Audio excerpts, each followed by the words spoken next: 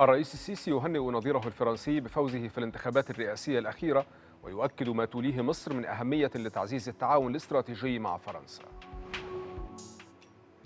جلسة لمجلس الأمن الدولي حول أوكرانيا وغوتيريش يجدد الدعوة لفتح ممرات إنسانية للمدنيين.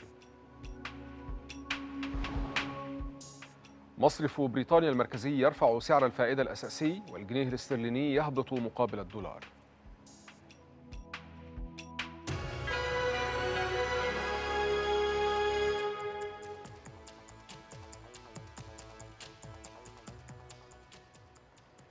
الثالثة صباحا الواحدة بتوقيت جرينتش نشرة إخبارية تأتيكم من القاهرة. أهلا بكم مشاهدينا والبداية مع الزميل أحمد أبو زيد. صباح الخير أحمد. أهلا بك لؤي. شكرا جزيلا. وسعدتم أوقاتا.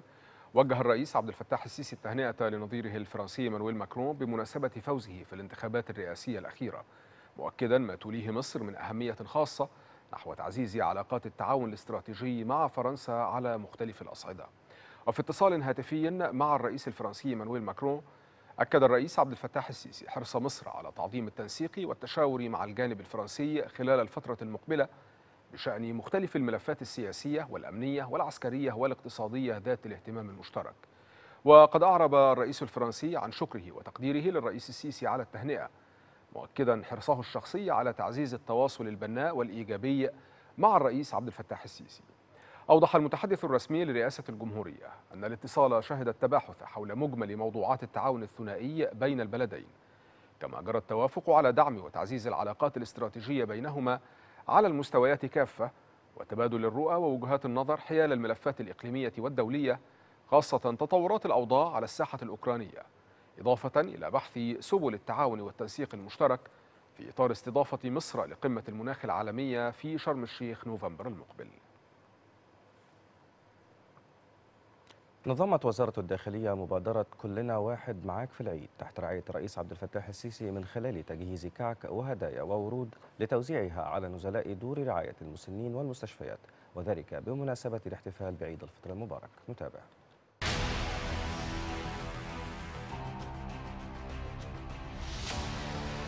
انطلاقا من الدور الإنساني والاجتماعي لوزارة الداخلية وحرصها على مشاركة فئات المجتمع كافة الاحتفال بالمناسبات ومنها عيد الفطر المبارك.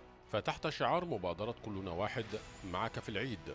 وبرعاية السيد الرئيس عبد الفتاح السيسي رئيس الجمهورية قامت الوزارة بتجهيز هدايا متنوعة لتوزيعها على المرضى بالمستشفيات بعدد من المحافظات.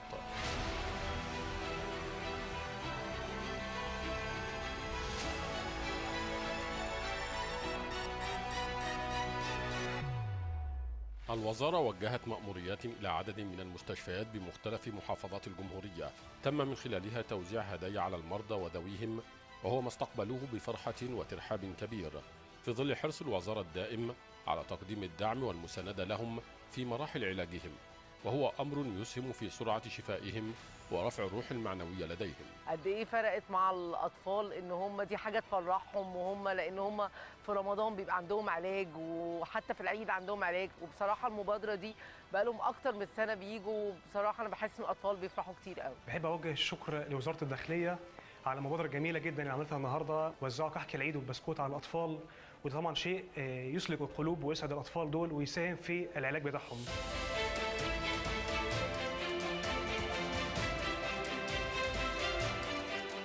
وتحرص وزارة الداخلية على استمرارية زياراتها للمرضى بالمستشفيات تأكيدا على أهمية تقديم الدعم لهم وتعزيزا لروح المشاركة مع كافة الفئات في الأعياد والمناسبات. ده شعور جميل جدا. الحمد لله يعني كان له صدى كويس جدا عند الأطفال وعند ذويهم والحمد لله كانت زيارة كويسة جدا ولها أثر معنوي. دي حاجة جميلة وحاجة تسعدنا وتفرحنا وتدخل الفرح على الأطفال. أنا كنت مبسوط إن الظباط جم وصوروا معايا. كما وجهت الوزارة مأموريات مماثلة لدور رعاية المسنين الذين أشادوا بجهود وزارة الداخلية وحرصها على تلبية احتياجاتهم المعيشية ومشاركتهم كافة الفعاليات والمناسبات. متشكرين قوي لحضراتكم ومتشكرين قوي ليكم ومتشكرين لاستضافتكم لينا هنا في الدار عندنا. وكمان النهارده الحمد لله يعني سعيدة جدا إن وزارة الداخلية اختارت الفندق واختارتنا تشجيعهم لينا وابتسامتهم وهداياهم بصراحة الواحد يعني محمل بجمال كتيره قوي. هكذا تستقبل وزارة الداخلية العيد برسم الفرحة على وجوه المرضى بالمستشفيات من خلال مبادراتها الاجتماعية والإنسانية لتوزيع الهدايا عليهم ودعمهم باستمرار.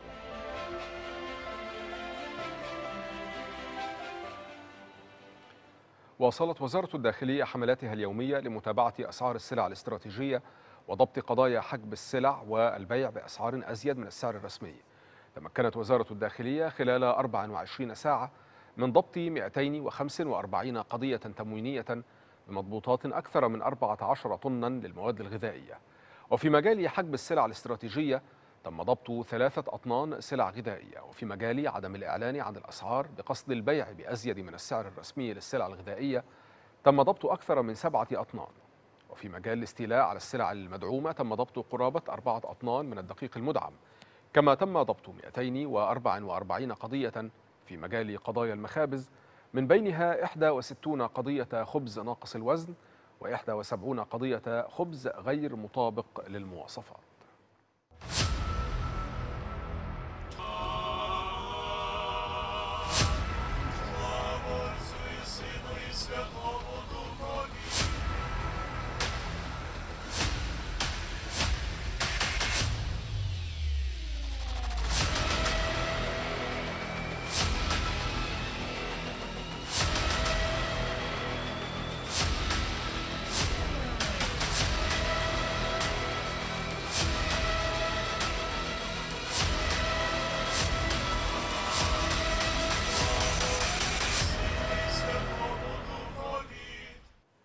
أبلغ الأمين العام للأمم المتحدة أنطونيو غوتيريش مجلس الأمن بأن عملية ثالثة تجري حاليا لإجلاء مدنيين من مدينة ماريوبول الأوكرانية الساحلية ومصنع أزوفستال المحاصر.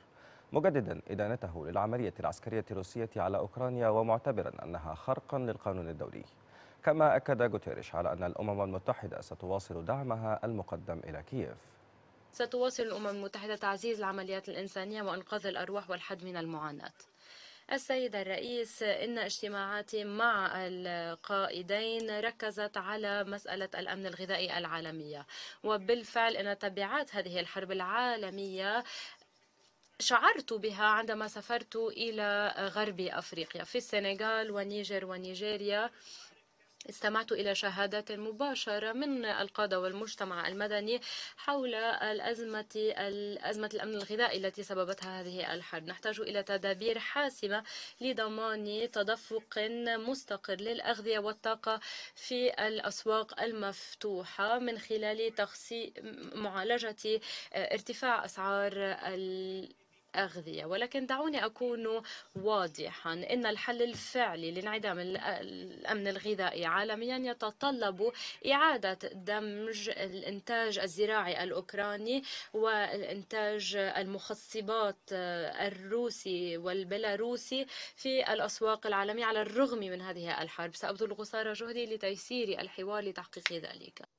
وقد اتهمت المندوبة الأمريكية لدى مجلس الأمن الدولي ليندا توماس جرينفيلد اتهمت روسيا باستهداف المدنيين في أوكرانيا وتدمير البنى التحتية فيها. مضيفة أن روسيا تعمدت نشر معلومات مضللة عن عملياتها العسكرية الجارية في أوكرانيا. الرسالة التي ما زلنا نسمعها كل يوم من موسكو هي أن روسيا لا تحترم الأمم المتحدة ولا تؤمن بها لا تؤمن بالميثاق ولن تكون طرفا مسؤولا في النظام الدولي. على مدار الأسابيع العشرة الماضية. عشرة أسابيع فحسب. شهدنا روسيا تواصل شن حرب جاءت دون استفزاز من جارة أصغر حجما. قامت روسيا باستهداف المدنيين والآلاف من المباني والهياكل والمركبات المدنية.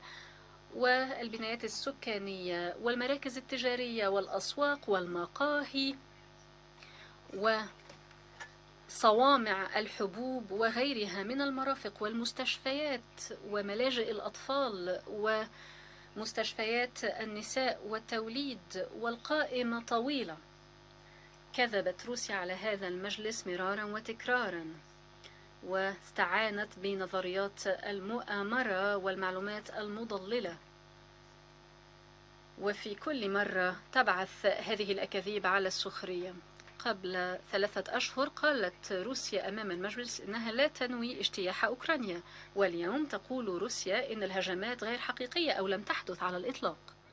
أكد المندوب الأوكراني الدائم لدى الأمم المتحدة أن الأمين العام أنطونيو غوتيريش اطلع عن كثب على أثار العملية الروسية في أوكرانيا مشيرا إلى انتهاء المرحلة الثانية من عملية إجلاء المدنيين من ماريوبول بإجلاء 3044 مدنياً.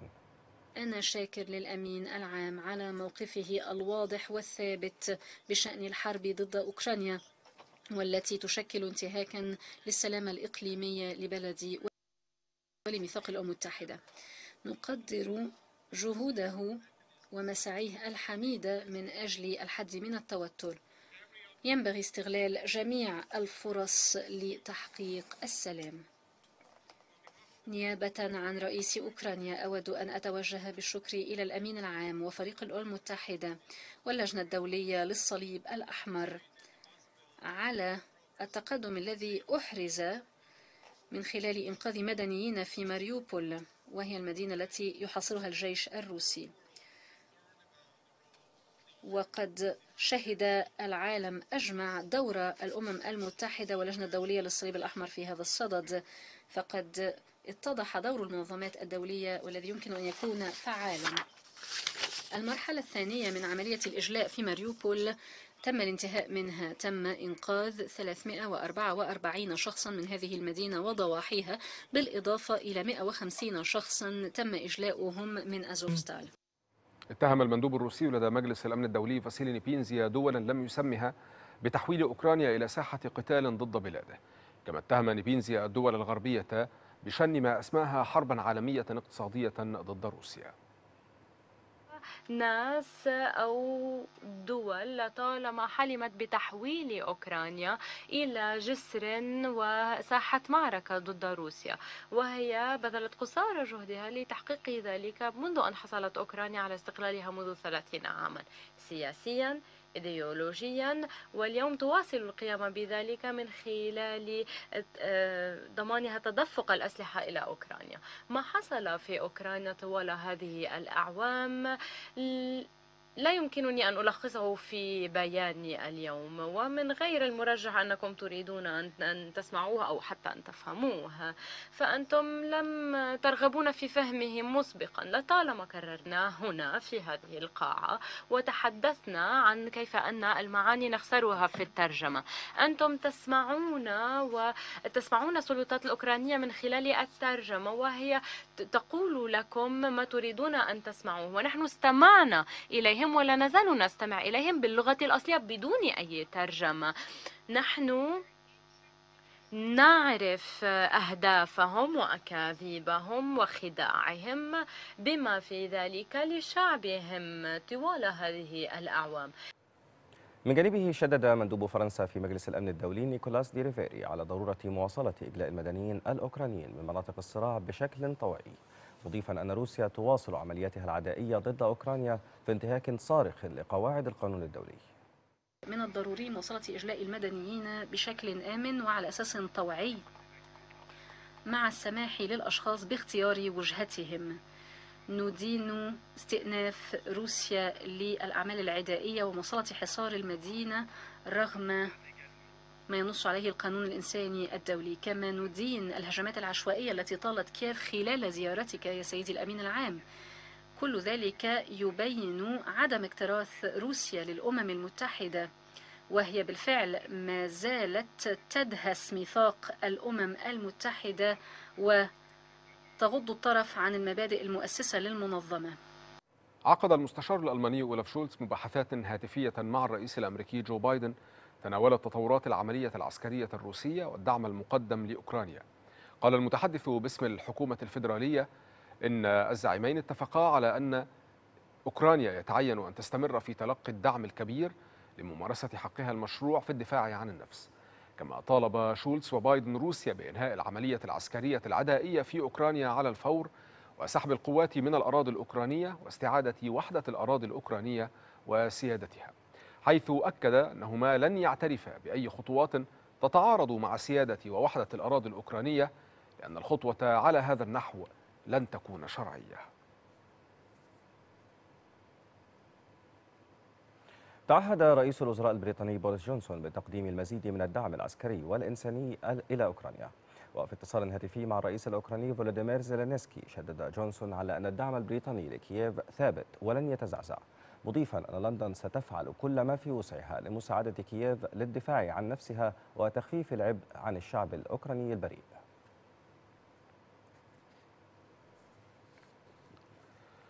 تمسك المستشار الألماني أولاف شولتز بموقفه الرافض حاليا لزيارة العاصمة الأوكرانية كييف برغم الدعوة التي تلقاها من الرئيس الأوكراني فلاديمير زيلينسكي وشملت أيضا الرئيس فرانك فالتر شتاينماير الذي رفضت السلطات الأوكرانية استقباله قبل نحو ثلاثة أسابيع.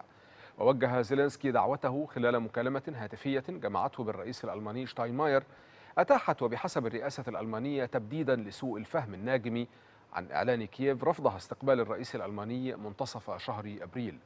ووصف شولتز المحادثات بأنها كانت أمرا جيدا مشيرا إلى أن نتيجة المباحثات تتمثل في أن وزيرة الخارجية أنالينا بيربوك يمكنها التوجه إلى أوكرانيا قريبا. كما أطلق الرئيس الأوكراني فولوديمير زيلينسكي منصة عالمية لجمع الأموال لمساعدة كييف على كسب الحرب أمام روسيا وإعادة بناء البنى التحتية للبلاد. كما أوضح زيلينسكي في رسالة عبر الفيديو أنه يمكن بنقرة واحدة التبرع بأموال لحماية المدافعين عن أوكرانيا وإنقاذ المدنيين وإعادة بناء البلاد مضيفا أن كل تبرع مهم لتحقيق النصر.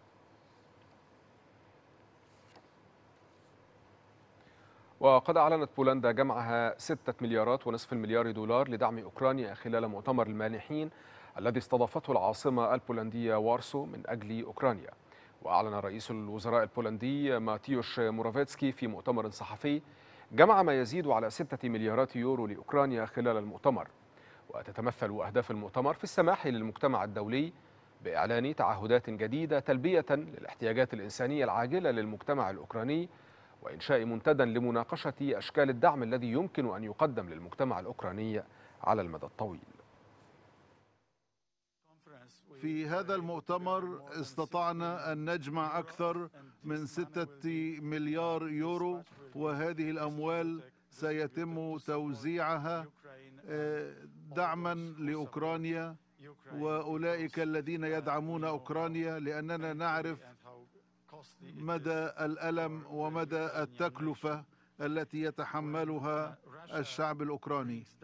عندما تجلب روسيا الموت فإن دول العالم الحر عليها أن تجلب المساعدات.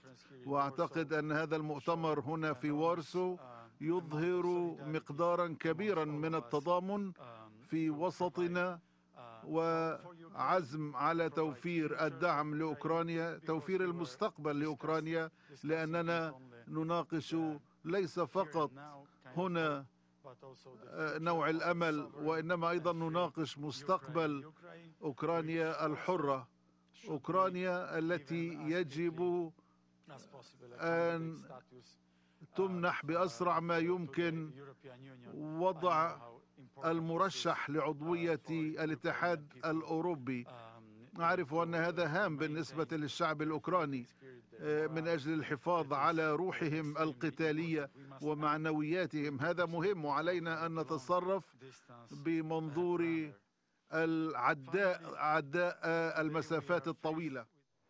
قالت رئيسة المفوضية الأوروبية أورسلا فوندر لاين إن الأهم في الفترة الحالية هو التركيز على عملية إعادة إعمار أوكرانيا. وخلال مؤتمر الدول المانحة لأوكرانيا بالعاصمة البولندية وارسو أشارت فوندر لاين إلى أن توفير 200 مليون يورو إضافية كمساعدة إنسانية من الاتحاد الأوروبي إلى أوكرانيا.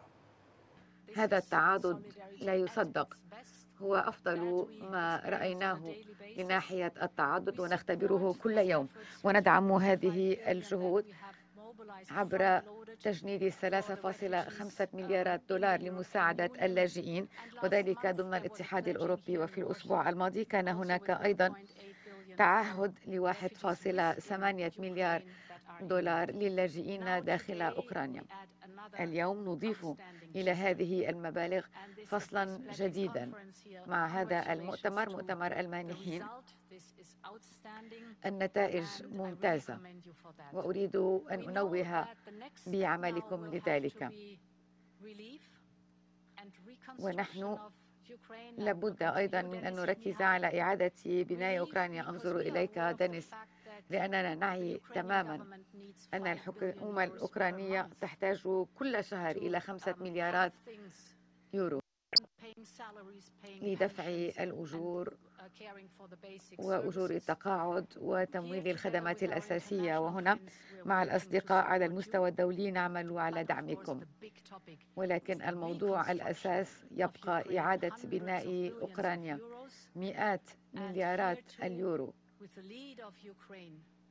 وهنا بقيادة أوكرانيا سنقدم كل ما في وسعنا أن نقدم وسنعمل معكم بشكل وثيق ونحلم أن نتمكن من أن نبدأ في أقرب وقت ممكن مع الاستثمارات والإصلاحات لنعد الطريق لدخول أوكرانيا إلى الاتحاد الأوروبي. كما أعلن الرئيس الفرنسي مانويل ماكرون أن بلاده ستقدم 300 مليون دولار كمساعدات إنسانية إضافية لكييف من أجل مواصلة جهودها ضد روسيا.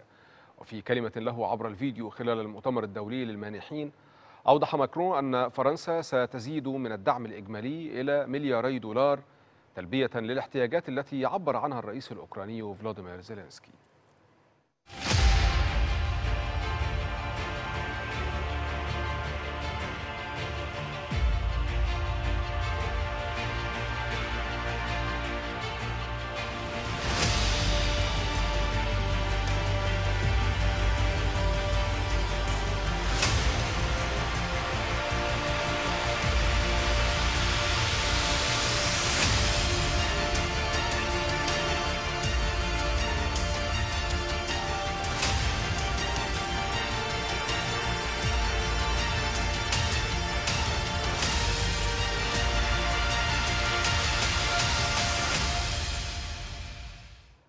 اتهم الكرملين الدول الغربية بالحيلولة دون نهاية سريعة للحملة العسكرية الروسية في أوكرانيا عبر تزويدها كييف بالأسلحة. وقال المتحدث باسم الكرملين ديمتري بيسكوف إن الولايات المتحدة وبريطانيا والناتو يسلمون معلومات استخباراتية للقوات الأوكرانية بشكل دائم بالإضافة إلى تدفق الأسلحة التي ترسلها هذه الدول إلى أوكرانيا وكل تلك الإجراءات لا تسهم في استكمال سريع للعملية. غير أن بيسكوف أشار إلى أن تلك الخطوات غير قادرة على إعاقة تحقيق أهداف العملية العسكرية الروسية. دخل محيط مصنع أزوفستال للصلب آخر معقل للجيش الأوكراني في مدينة ماريوبل. دخل هدنة أحادية الجانب أعلنتها القوات الروسية لمدة ثلاثة أيام. وقالت روسيا إن قواتها فتحت ممرا إنسانيا لإجلاء المدنيين من المصنع إما إلى الأراضي الروسية أو إلى تلك الأراضي التي تسيطر عليها أوكرانيا.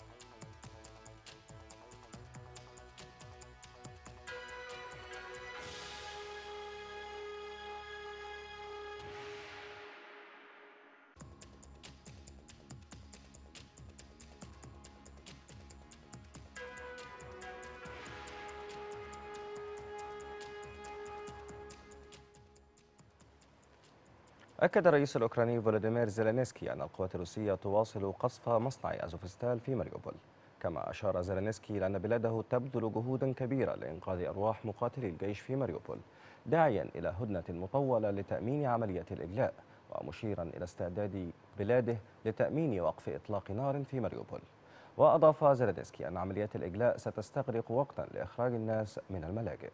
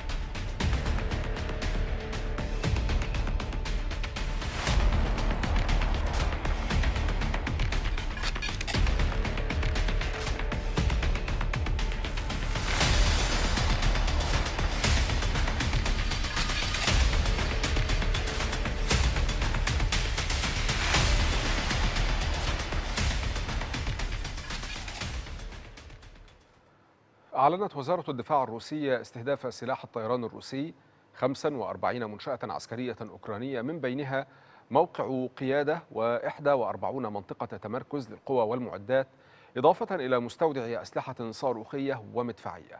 وكشف المتحدث باسم وزارة الدفاع الروسية إيغور كوناشينكوف عن تمكن القوات الروسية من تدمير موقع قيادة لواء تابع للقوات الأوكرانية في منطقة ريسكوتوفكا وقصف مستودعي ذخيرة تابعين للمسلحين الأوكرانيين في منطقة سيفيرسك فضلا عن 28 منطقة تمركز للقوى العاملة والمعدات العسكرية.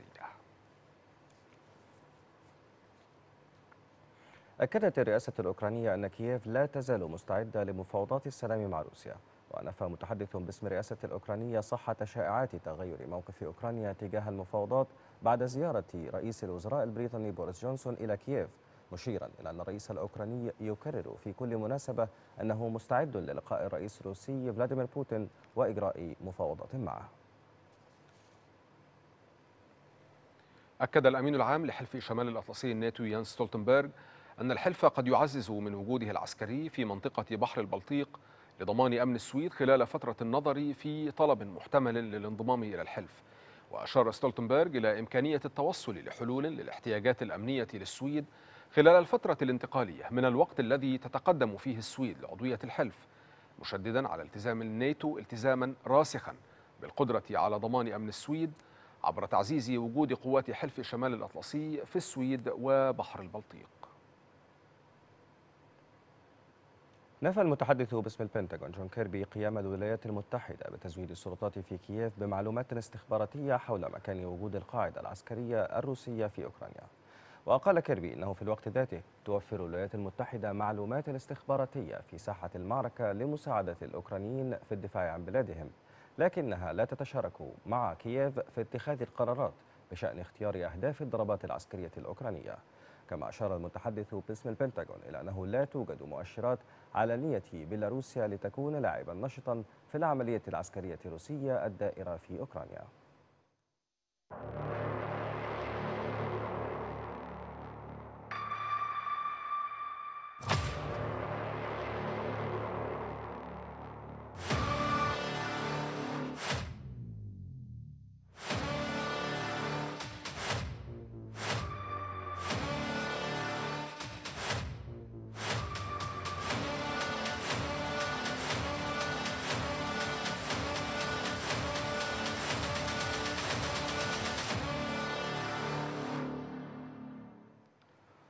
رفع مصرف إنجلترا المركزي سعر الفائدة الأساسي إلى 1% في أعلى مستوى لها منذ 13 عاما وهي الزيادة الرابعة على التوالي مع استمراره في التحرك لمحاولة احتواء موجة التضخم. وتزامنا مع قرار المصرف المركزي هبط الجنيه الاسترليني 1.5% مقابل الدولار. وقد بلغ التضخم في المملكة المتحدة 7% في شهر مارس الماضي في أعلى مستوى يسجله منذ عام 1992 وأكثر من ثلاثة أضعاف الهدف الرئيسي الذي كان البنك قد أعلنه. وركز مصرف إنجلترا المركزي منذ ديسمبر من العام الماضي على معالجة توقعات التضخم المرتفعة كتثبيط مطالب الأجور المرتفعة لمواجهة وتيرة نمو الأسعار.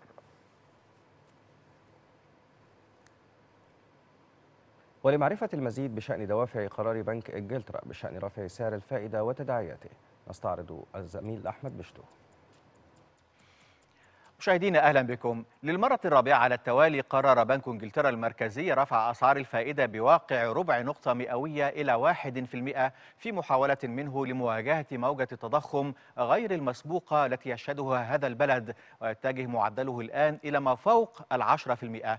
على وقع القرار تراجع الجنيه الاسترليني أمام الدولار بنسبة واحد ونصف في المئة ليزيد من خسائره التي مني بها خلال الأسابيع الأخيرة لا سيما مع عزوف المستثمرين المستثمرين عنه لتهبط قيمته بما يتجاوز الأربعة في المئة في أبريل في أسوأ أداء شهري له منذ خروج بريطانيا من الاتحاد الأوروبي قبل نحو سبع سنوات.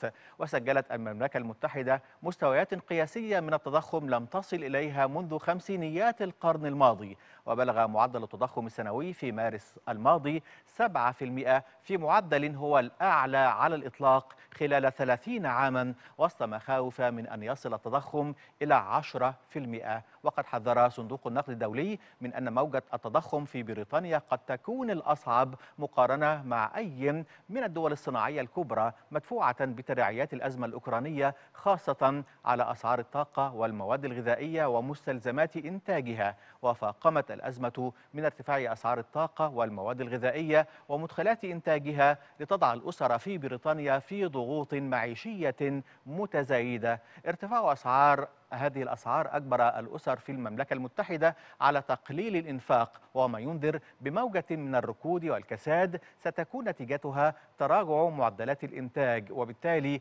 خسارة الشركات التي ستلجأ إلى تقليل الرواتب أو حتى إلى تسريح العاملين بها في دائرة مغلقة من التضخم والركود. مشاهدينا كان هذا عرضنا لقرار بنك إنجلترا المركزي رفع أسعار الفائدة الأساسية إلى 1% في أعلى مستوى له منذ 13 عاما. شكرا لكم على طيب المتابعة.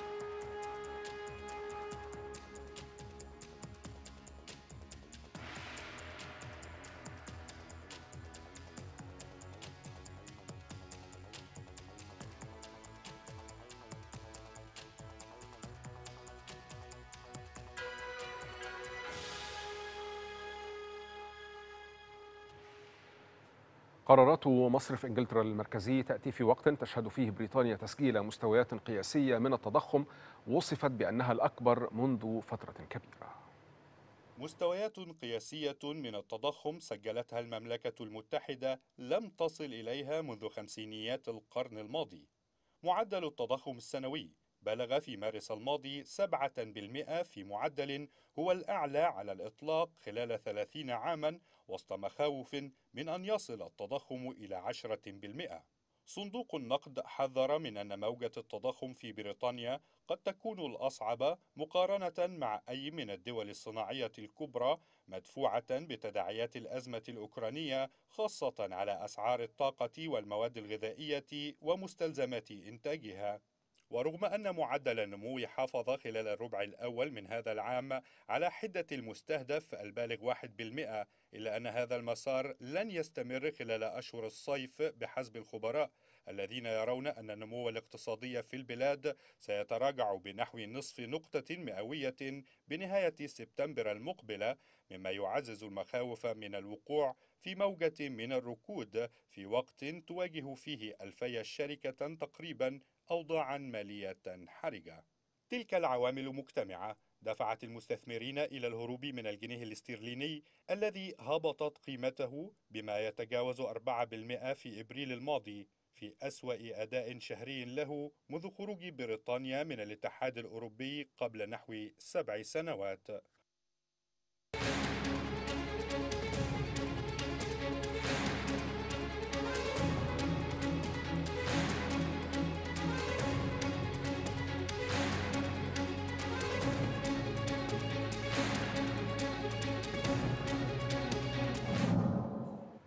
عربيا افتتح رئيس الحكومة اللبنانية نجيب ميقاتي ووزير الخارجية عبد الله بوحبيب غرفة العمليات الخاصة بإدارة ومراقبة الانتخابات النيابية في الخارج والتي تنطلق مرحلتها الأولى اليوم الجمعة في عشر دول تعتمد هذا اليوم إجازة أسبوعية.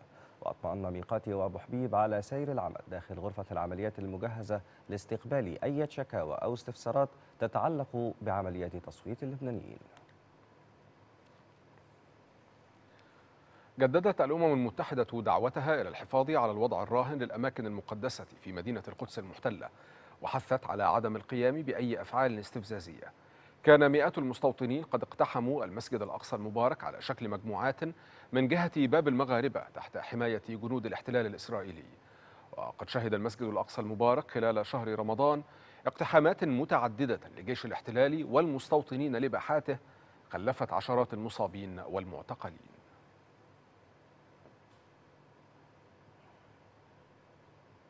أكد الرئيس التونسي قيس سعيد أن بلاده تعيش في وضع دقيق بينما تعمل مؤسسات الدولة للتصدي لكل أنواع الجريمة. وأضاف خلال زيارته لوزارة الداخلية التونسية أن ما يحصل الآن هو محاولة يائسة لحرق البلاد مشددا على ملاحقة كل من دبر افتعال الحرائق. ولفت إلى أن هذه الحرائق التي اندلعت ليست من قبيل الصدفة وإنها تتناغم مع بعض التصريحات ببث إشاعات مكذوبة. واليوم تونس آه، تعيش في وضع دقيق. ولكن الحمد لله نطمن التونسيين وأن هناك مؤسسات تعمل وأنها ستبذل قصارى جهدها من أجل التصدي لكل أنواع الجريمة. للأسف ما يحصل اليوم وهذه الأيام الأخيرة هو محاولة يائسة محاولة ستفشل بالتأكيد لحرق البلاد الأرض المحروقة. وهذه الحرائق التي جدت اليوم وجدت يوم العيد ليست من قبيل الصدفة. بنا حتى مركب آه، بصفاقس في الماء اشتعلت فيه النيران. الأرض المحروقة وحتى البحر ماذا بيهم يحرقوه. هذا اللي وصلنا له. ومش من قبيل الصدفة. مرة وتتناغم مع بعض ال- أو تتسق مع بعض ال- التصريحات ال- هذا الخلاص الوطني ولا هي تونس تحب تتخلص منهم. أنا خلاص وطني من هؤلاء. وثم بث الإشاعات المكذوبة. هتك الأعراض والمفترض حتى المصالح المعنية بالأمر. تعرف المصدر بتاع هتك الأعراض ومس الأعراض.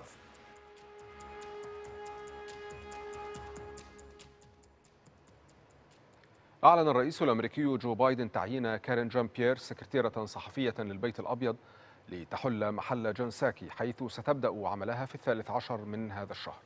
وأثنى بايدن في بيان له على كارين بيير قائلا إنها لا تمتلك الخبرة لهذه المهمة الصعبة فقط بل إنها ستواصل قيادة الطريق في التواصل بشأن عمل إدارة بايدن هاريس وأضاف بايدن أن المسؤولة الجديدة ستكون أيضا صوتا قويا يتحدث بالنيابة عنه وعن الإدارة الأمريكية.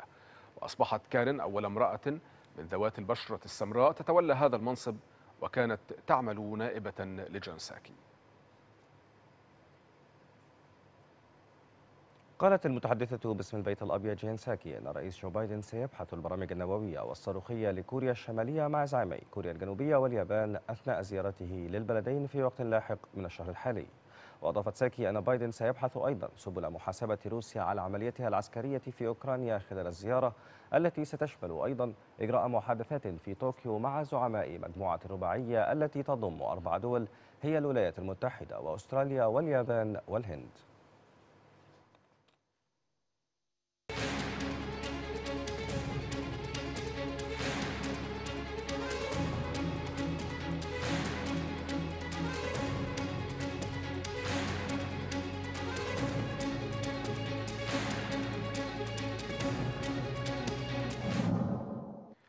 محليا بدأت صومعة سدس لتخزين القمح في بني سويف في استقبال محصول القمح بعد إجازة عيد الفطر المبارك من الفلاحين والموردين.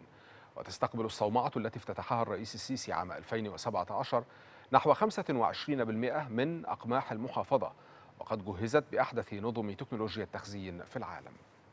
الصماعة عندي 60 ألف طن آه، كل خلية آه، مكونة من 12 خلية كل خلية ساعة 5000 طن وعندي شونة في الصماعة حوالي 10000 طن نأمل إن شاء الله رب العالمين إن إحنا نقدر نستلم 70 ألف طن السنة دي في ظل ال- الإنتاج الوفير من المحصول. والحمد لله رب العالمين الفدان السنة دي بيعدي ال 20 وال 23 من من 20 ل 23 ل 24 أرداب للفدان. ربنا يجعله موسم خير علينا وعلى مصر إن شاء الله.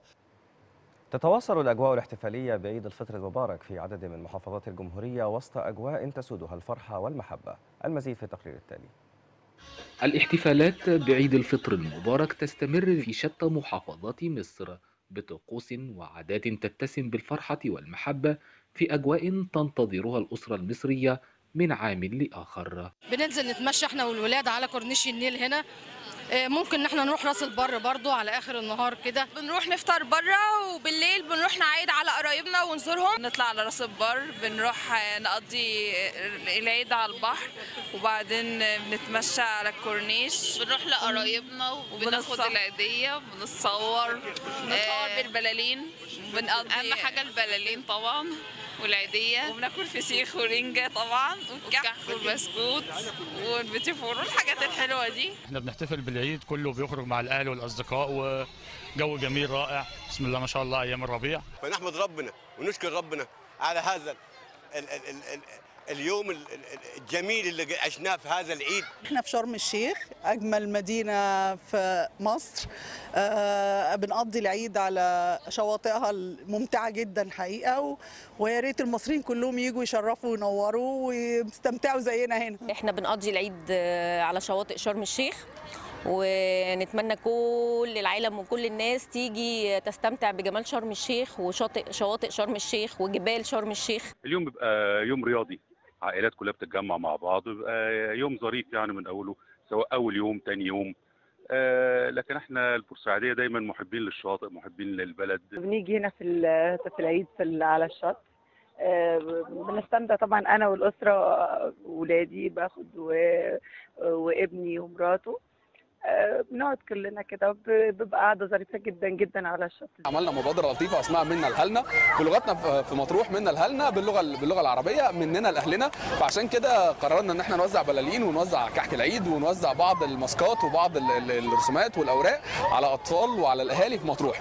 منا لأهلنا الاسم المبادرة بتاعتنا علشان أهل مطروح أهل كرم أهل خير بيحبوا الخير لبعض. العادة اللي بتتميز بيها محافظة البحيرة الأسماك المملحة والفسيخ والرنجة والحاجات دي كلها يعني. في كل عيد بي بي بيبدأ بفرحته يعني. وكل عيد بيبقى فيه أسرة جديدة وطفل جديد و... وناس اتجوزت وناس فتحت بيوت. فبتبقى الأجواء العائلية أكتر في الأعياد كل سنة بتزيد عن السنة اللي بعديها يعني. الشواطئ العامة يتوافد عليها المئات من الزائرين سواء من أهالي المدينة أو رحلات اليوم الواحد الوافدة من المحافظات المجاورة لقضاء أجازة عيد الفطر على شواطئ المدينة. تتزايد أعداد المواطنين على الحدائق والمتنزهات للاستمتاع بأجواء العيد وسط المساحات الخضراء برفقة جميع أفراد الأسرة والأقرباء. جيت النهاردة أحتفل آه، بالعيد في حديقة الحيوان عندنا وإن شاء الله يكون عيد سعيد آه، علينا وعلى الأمة العربية كلها. آه، وجيت آه، أخرج ولادي لأنهم طبعا إيه موضوع الأعياد ده بيبقى دايما إيه محتاجين إن هم يطلعوا ويخرجوا ويتفسحوا. الجنينه اتطورت زيادة عن الأول أوي أوي أوي الصراحة. كل سنة بجيب فيها أسرتي وعيالي بلاقي فيها اللهم صل على النبي تغييرات كتيرة. المصريون لهم طقوس خاصة في المناسبات والأعياد ومنها عيد الفطر. فدائما ما يقيمون العادات والتقاليد التي تميز مصر الكبير عن غيرها وسط أجواء من السعادة تسود جميع الأسر التي تحتفل بعيد الفطر المبارك بأجواء تتوارثها الأجيال جيل بعد جيل. احتفلت جامعة سنغور بالإسكندرية باليوم العالمي للتراث العالمي الإفريقي والذي يوافق الخامس من مايو من كل عام. ويسلط الاحتفال بهذا اليوم الضوء على إذكاء الوعي بالتحديات المتعلقة بالترويج للثقافة والحفاظ عليها والتراث الطبيعي والمادي وغير المادي لقارتنا الإفريقية. النهارده آه، الجامعة بتنظم فعاليات محاضرات وندوات آه، ومائدات مستديرة بتتناول موضوعها حول آه، كيفية زيادة تمثيل التراث الثقافي والطبيعي على قائمة التراث الثقافي آه، لليونسكو وأيضا كيفية إدارة المناطق المهددة آه، بالخطر آه، في آه، إفريقيا آه، وأيضا إضافة إلى ذلك آه، آه، تنشيط وتفعيل دور الشباب والنساء للمساهمة في حفظ وصون التراث الثقافي والطبيعي على آه، مستوى القارة. وسنختتم الفعاليات بأمثية آه، ثقافية وذلك بحضور الكثير من المحاضرين والسفراء من الدول الأفريقية المختلفة. والآن وقفة مع أخبار الرياضة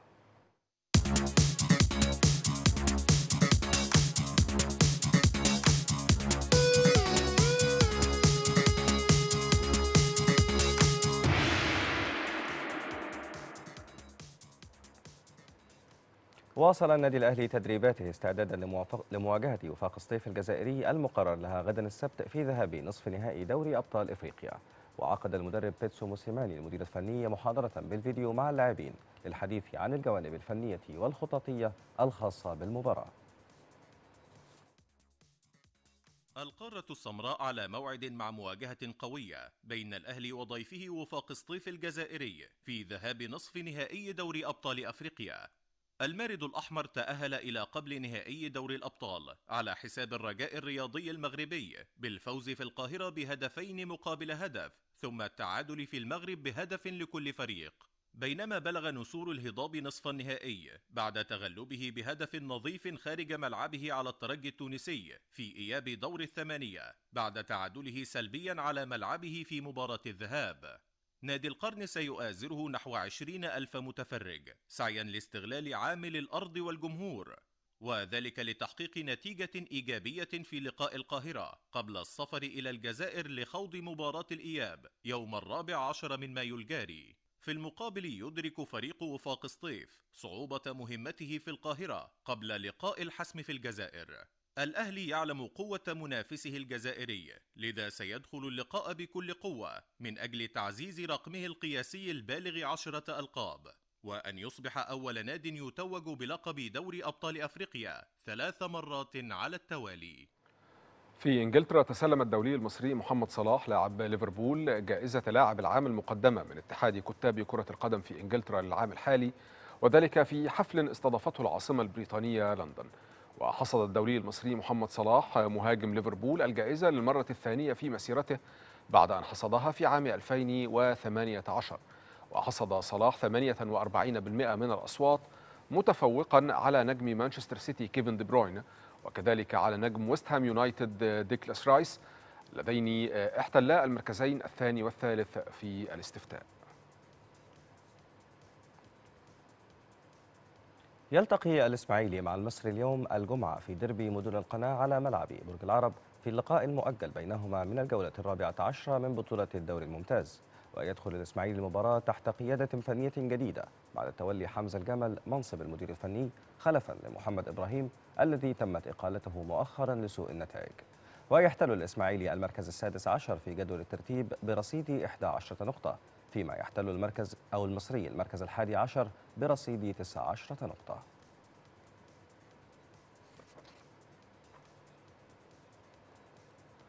يستضيف فريق سموحة نظيره بيراميدز اليوم الجمعة على استاد الأسكندرية في المباراة المؤجلة بينهما من الجولة الرابعة عشرة لبطولة الدوري المصري الممتاز. يدخل سموحة المباراة بقيادة فنية جديدة بعد رحيل أحمد سامي المدير الفني السابق والذي تولى بدلا منه عبد الحميد بسيوني ليقود الفريق للمرة الأولى أمام فريق بيراميدز. يحتل الفريق السكندري المركز الخامس في جدول المسابقة حتى الآن برصيد 27 نقطة. فيما يدخل بيراميدز المباراة تحت قيادة اليوناني تاكيس جونيوس المدير الفني وهو في المركز الثالث ب 32 نقطة. تخطى إينتراخت فرانكفورت الألماني عقبة ويست هام يونايتد الإنجليزي بعد فوزه عليه بهدف دون رد في إياب الدوري نصف النهائي من بطولة الدوري الأوروبي. وتأهل فرانكفورت إلى المباراة النهائية بمجموع مباراتي الذهاب والإياب بنتيجة 3-1 بعدما فاز ذهابا على منافسه الإنجليزي بهدفين مقابل هدف واحد. ووقع الكولومبي رافائيل بوري هدف المباراة الوحيد في الدقيقة السادسة والعشرين. وخاض ويست هام اللقاء بعشرة لاعبين منذ الدقيقة التاسعة عشرة.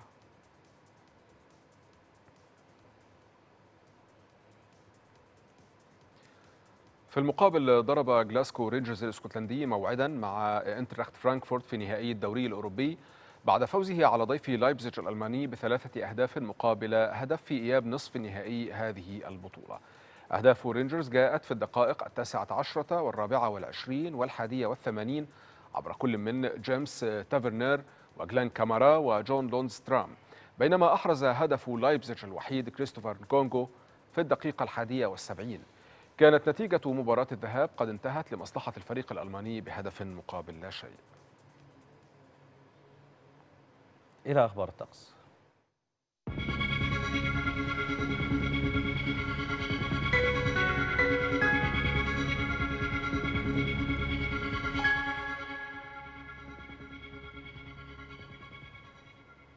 يتوقع خبراء هيئة الأرصاد الجوية أن يسود البلاد اليوم الجمعة طقس مائل للحرارة على القاهرة الكبرى والوجه البحري وشمال الصعيد. معتدل على السواحل الشمالية حار على جنوب سيناء وشديد الحرارة على جنوب الصعيد نهارا ومائل للبرودة ليلا. وفيما يلي بيان بدرجات الحرارة المتوقعة.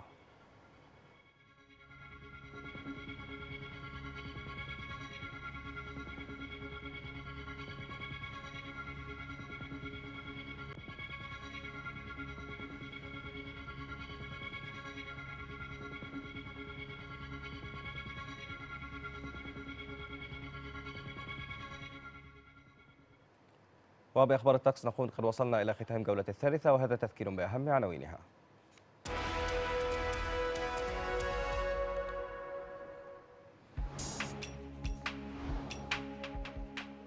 الرئيس السيسي يهنئ نظيره الفرنسي بفوزه في الانتخابات الرئاسية الأخيرة ويؤكد ما توليه مصر من أهمية لتعزيز التعاون الاستراتيجي مع فرنسا. جلسة لمجلس الأمن حول أوكرانيا والأمين العام للأمم المتحدة يجدد الدعوة لفتح ممرات إنسانية لإجلاء المدنيين. البنك المركزي البريطاني يرفع سعر الفائدة الأساسي والجنيه الاسترليني يهبط مقابل الدولار.